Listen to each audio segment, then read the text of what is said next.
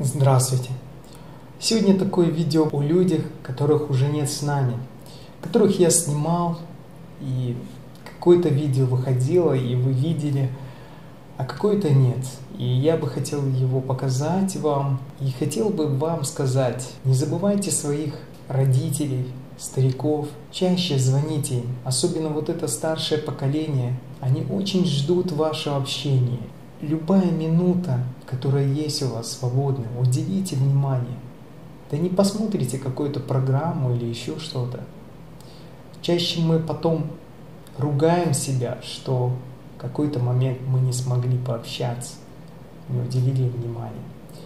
И вот такое видео просто воспоминание тех людей о истории города Мстиславля. Может быть, из этого видеоряда постепенно собирая историю, можно будет написать какую-то книгу или сделать какой-то документальный фильм. Пускай это разные периоды, но оно есть.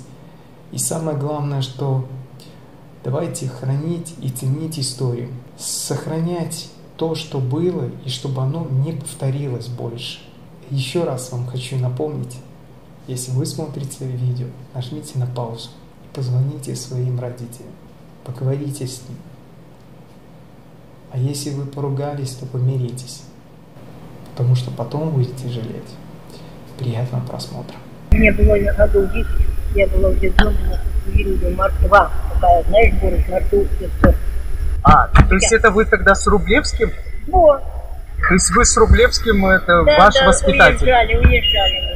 И потом назад возвратились? А тогда он приехал, чтобы я мою маму знал, и дал адрес, и нам вызов мы приехали. То есть вы когда-то были в Тупичевском монастыре, сперва там располагали? Расскажите, как вы попали в Пустынский детский дом? В 1936 году я поступил в школу тут. А окончил Чечурскую начальную школу. Поступал в семилетнюю школу. Она ближе всех. Два с- там, с половиной километров.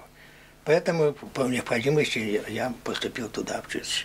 А сейчас у меня умер рано. Был в Москве в охране Ленина. Его ранили и, и умер рано так. Остался мать, я и сестра, и все, больше никого не было. Вы знали в то время, что это был монастырь? Да, конечно, конечно. При мне горело, горело монастырь. Мамаша покойно зовет меня Вася, а вечер такой, сильный дождь, ливень, молнии, молнии блистали. Мама покойная мамаша, Вась, ходи-ка сюда посмотри, церковь, там пустынки горят, пустынки. Я подошел к окну, это как раз э, против горело сад. Зар- Заря необыкновенная была. Представляете, так. Треск, молния, гроза. И дождь, ливень такой был. А что горело? Горела колокольня. Колокольню немножко спортили. Был инженер здесь, когда строили. Сузил. И дальше кирпич, кирпич сложить нельзя было. Достраивалось шалевкой, досками. Шесть этажей. Надо было достраивать. Они всего то четыре или там, или три достроили. Вы знали, что это Пустынский монастырь. Вы верили тогда в Бога или нет? В то время очень строго было.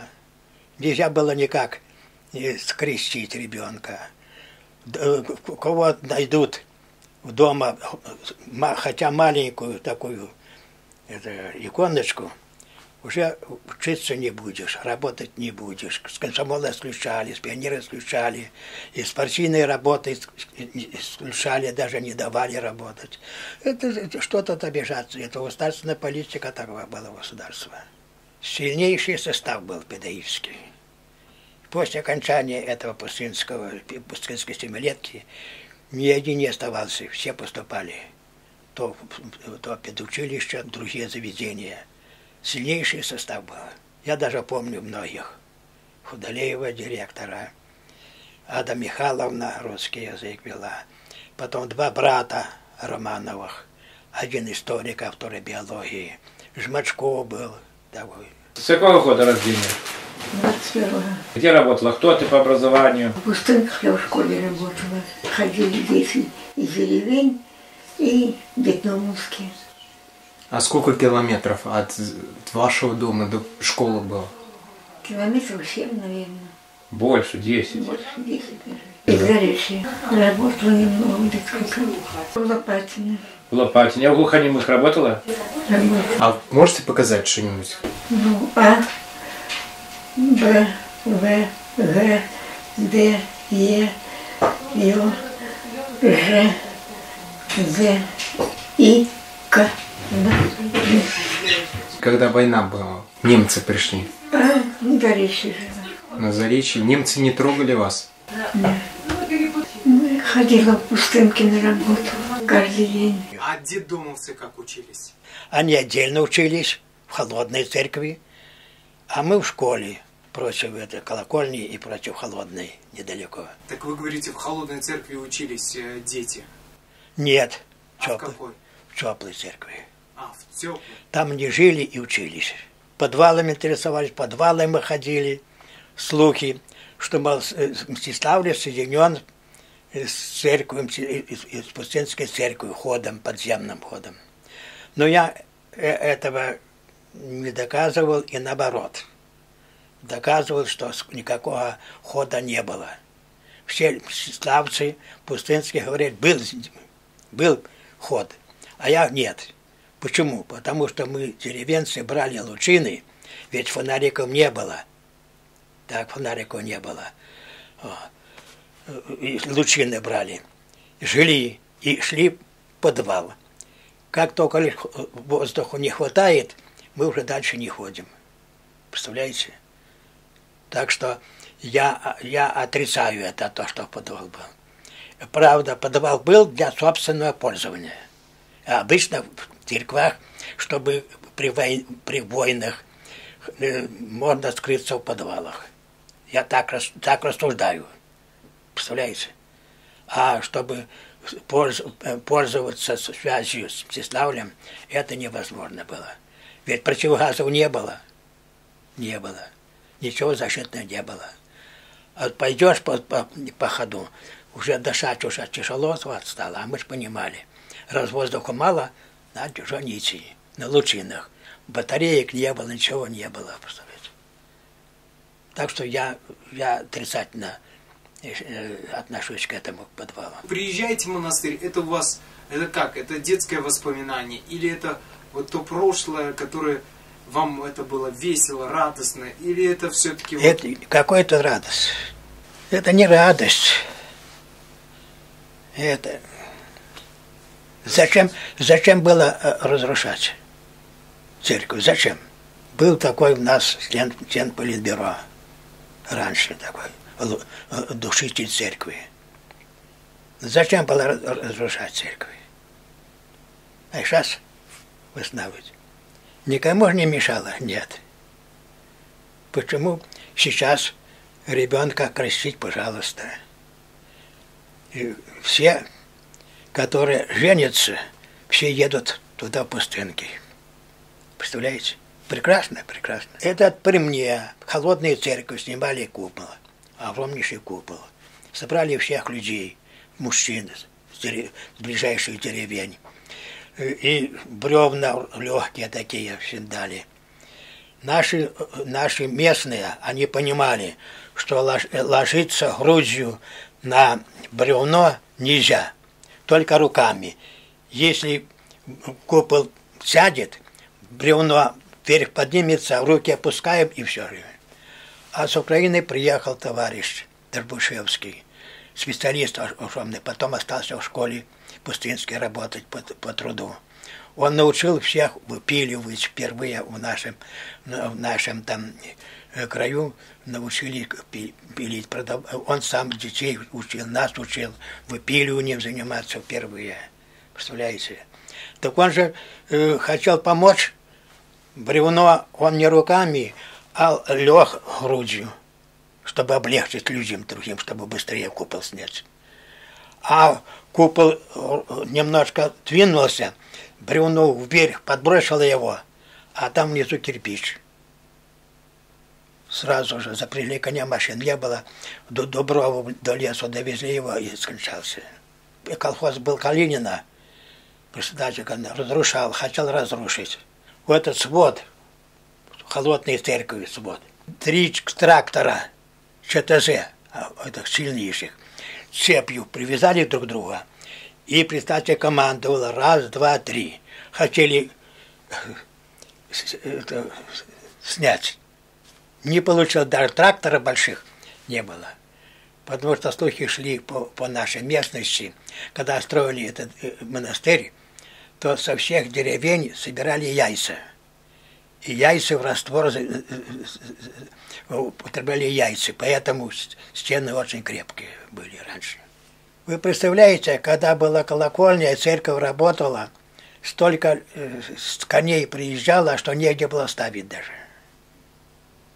Очень большие деревни были. А сейчас там э, э, Россия не обращает внимания, почему-то не знаю почему. Все деревни уничтожены абсолютно. Жили мы очень плохо раньше, конечно. Питались только лишь льняной мякиной. Я с покойного Машей бери, брали по мешку, шли на поле и, и брали льняную мякину. Это сушили на сковородах печи, толкли в стопы и пекли, пекли пресноки. Кусочка хлеба не было. С молока, сала ничего не было. Представляете? И потом весной, когда листья распускаются, липовые листья, собирали лепник, липовые листья, сушили, толкли. Вот этим и питались. Вот. Потому что налоги очень большие были. Надо было молоко все сдать государству, вот. а себе оставаться, а не оставалось ничего абсолютно. Моя мамаша, когда отец умер покойный, решила сдать корову, она очень большая была такая жирная, но молока мало давала, в детдом. Так мать э, за рога, а я пугаю ее сзади, помнится мне. Сдали эту корову за 600 рублей. А у пустынка купили подселка. И первый день очел уже около 12 литров или 13 литров молока давала. Вот только тогда мы начали чувствовать молоко. А так, ни грамма. Все надо было сдать государству. Вы знаете, такие налоги были. Полностью землю отдай налог. На, на, на этой земле яблони, за каждую яблонку плачи.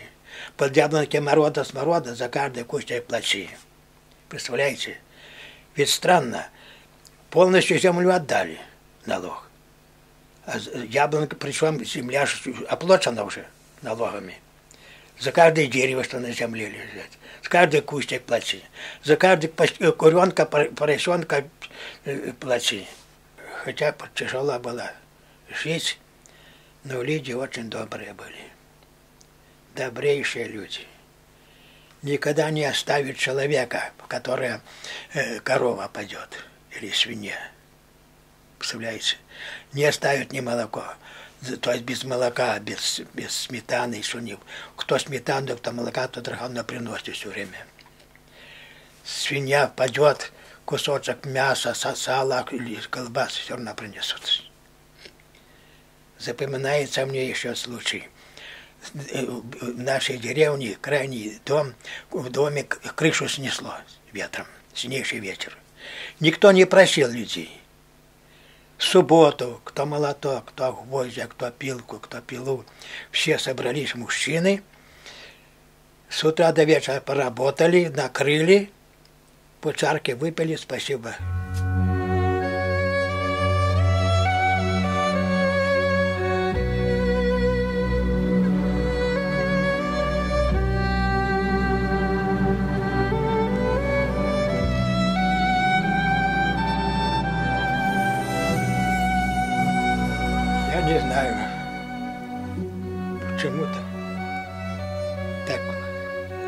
Весело в деревне было.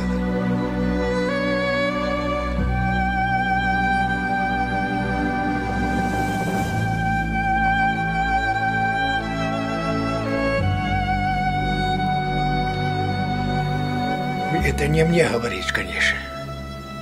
Да вы понимаете. Совсем как-то люди стали другие.